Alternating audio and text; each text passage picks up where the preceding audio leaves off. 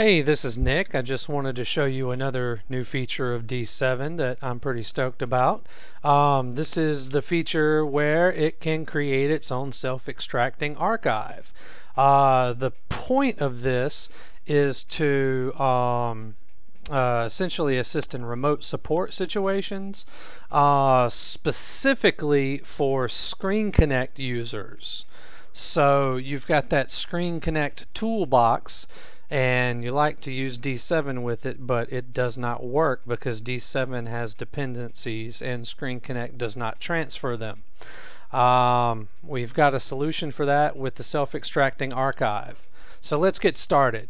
Um, the first thing you're going to want to do is prune down your D7 folder. So essentially, um, we're going to take out third-party tools, just move it. You don't you can delete the temp. You should delete your reports. Everything else is good. You should have config, modules, and if you have any custom scripts, then leave those. Leave that directory. Okay. The next thing we're going to do is actually create the self-extracting archive. Click on your main menu and go down to Create SFX.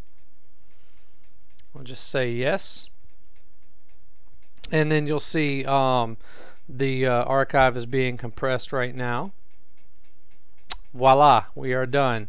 And you'll you'll get a prompt that says the D7 SFX is located on your desktop.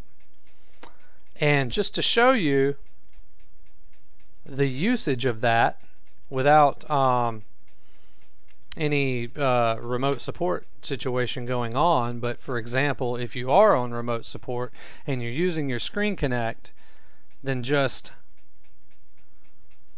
double click it. You'll see a D7 folder getting created on the desktop. And of course, uh, D7 will automatically run. Now, the thing about that is that, um, and of course, the self-extracting archive gets deleted. Um, the thing about that uh, running D7, of course, that you just saw was the UAC prompt. Uh, if you run the self-extracting archive as an administrator, you won't get that, and it'll just start D7 by itself. But um, anyway, that's just uh, all I got for you right now. But I'm trying to keep the videos more, you know, short and uh, frequent, I guess. So I'm going to try to do another quickie or two tonight.